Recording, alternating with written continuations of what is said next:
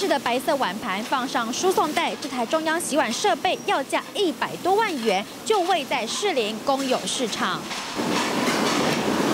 推场柯文哲选战时的证件，希望夜市统一清洗餐盘。早在民国一百年，市场自治会订了六种由大到小的餐盘，方便上美食店家统一清洗。赶在傍晚正式营业之前，干净餐盘由专人盘点好需求数量，配送到各店家。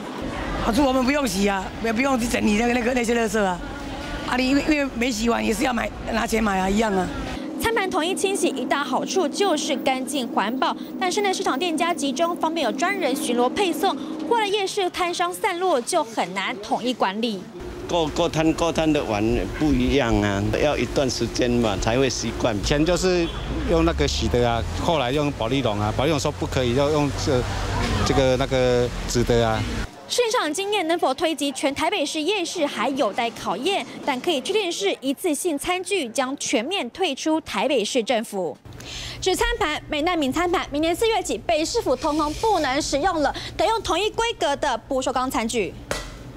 柯文哲反对一次性餐具，先从北市府做起，将准备四种规格的不锈钢餐具，包含餐盘、汤匙、碗筷，编列两百二十五万预算购买大型隧道式洗碗机，准备应付最少一千七百套的碗盘需求量。啊，可以一致的洗，那对于我们的餐厅的作业人员来说，负担也比较不会那么大。